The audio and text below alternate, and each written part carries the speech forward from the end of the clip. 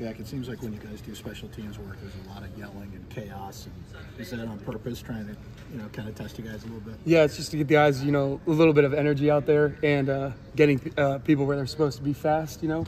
So um, we go over it in the meetings a little bit, and then when we get on the field, everyone expects everyone to know where they're supposed to go. And I mean, I don't think there's a little anything wrong with a little bit of chaos when you go out there. Well, how would you characterize the difference between what you saw last year at this time and now? Right, I think- coach, Frank, yeah. Right. I think um, a lot of it is uh, better mentality. I think we bring a little bit more energy to the football field. And um, one thing that we just said in uh, our little huddle over there after practice, I think I'm going to start saying more, maybe apply it to myself as successful men do little things right. Um, I think that is like a really big thing for our football team. Just the small things matter. Last time we had talked with you, Coach Legg was still expected to be the special teams coordinator. I guess just how did you find out about him leaving and, and what was your reaction to that news? Right. Um, I actually found out uh, from a phone call and then I saw Twitter. Um, but the phone call, um, was- he was respectful, and there's not really much you can do or say about it.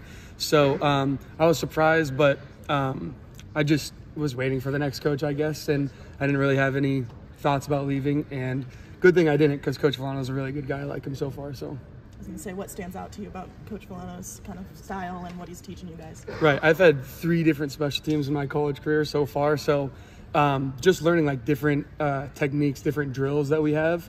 And I think Coach Villano did it uh, really well. He came in, he didn't say, hey, we're going to change all this. He found out what we did best. He found out what um, we like to do. And he did, he made drills around what we're good at. So I think um, that really helped us. Just coming in comfortable wasn't, we're going to change everything. Uh, just what works best for us.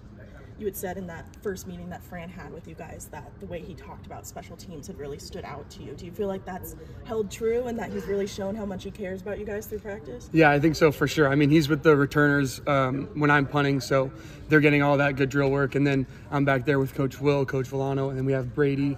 Um, so, I mean, I think it's just like we're all getting better as a team in that sense, but I think like it has through. We still have special teams meetings, so um, yeah, we're putting our best foot forward on special teams this year. So, yeah, I'm excited.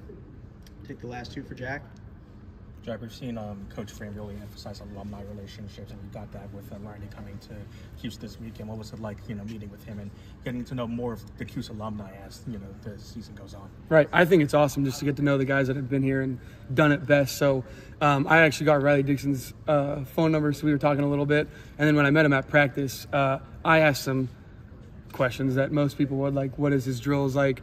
What what film does he do? What are his steps? Um, he helped me a lot with holding, um, but I'll stay in contact with him. We'll try to get together on the off season and all of that uh, a little bit more. So yeah, it was really cool. Good. All right. Thanks, Jack. Thank you.